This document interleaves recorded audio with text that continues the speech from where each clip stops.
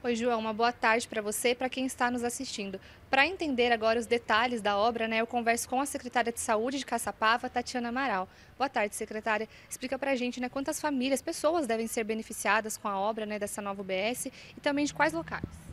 Então, essa UBS no Aldeias da Serra, ela vai porque lá nós temos o Tataúba, que já abarca mais de 4 mil pessoas. E agora, com essa construção dessa nova unidade, alguns bairros, nós vamos redividir o território, porque o território do Tataúba ficou muito grande. Então, para só a humanidade, realmente não comportava. Para um bom atendimento, para um prédio adequado. Então, com a construção do Aldeias, nós vamos ter seis bairros beneficiados dentro daquela região, daquele território. 4 mil pessoas vão ser atendidas ali também. Vai ser um prédio totalmente novo, todo equipado, né, dentro dos padrões do Ministério da Saúde. Então é realmente uma conquista.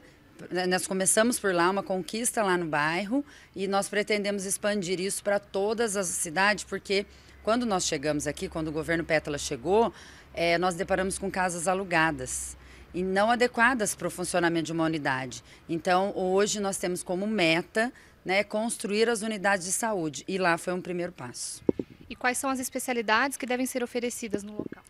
Como vai ser uma estratégia de saúde da família, nós vamos ter médico, é o médico generalista que a gente fala, que é o médico que atende as famílias, vai ter enfermeiro, auxiliar, é técnico de enfermagem, recepção, e nós temos também um programa que chama AMAB, que, é, é, que apoia a atenção básica e que também ele vai até as unidades fazer grupo de fisioterapia, de, de terapia ocupacional, vai fazer é, atendimento de psicologia. E o prédio hoje, como são casas alugadas, como eu já falei, não comporta muitas vezes os atendimentos. Então esse prédio também vai abarcar todas essas especialidades para atender melhor a população. É, secretária, qual que é a estrutura né, dessa nova unidade? Também tem alguma novidade em relação ali ao local, as outras né, do local?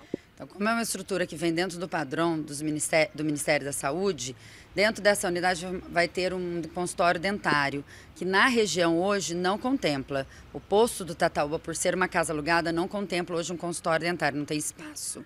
Então, toda a região ali do Tataúba, Aldeias da Serra, eles têm que se deslocar até a Vila Menino Jesus, que é onde funciona o consultório odontológico. Então, realmente fica muito difícil a população se deslocar até lá. Então, já vai ter um consultório dentário ali, que vai ser uma grande conquista. E pelo tamanho da unidade, estamos pensando em talvez colocar dois consultórios dentários, tanto para o Aldeias da Serra quanto para o pessoal do Tataúba, todos já ficarem é, sendo atendidos naquela unidade, para que realmente facilite para a população. Tá certo, secretária, muito obrigada pela entrevista. Então, além da construção né, da nova unidade de saúde, também mais uma boa notícia para os moradores da região com esse consultório odontológico. Com essas informações eu volto com você, João, aí no estúdio.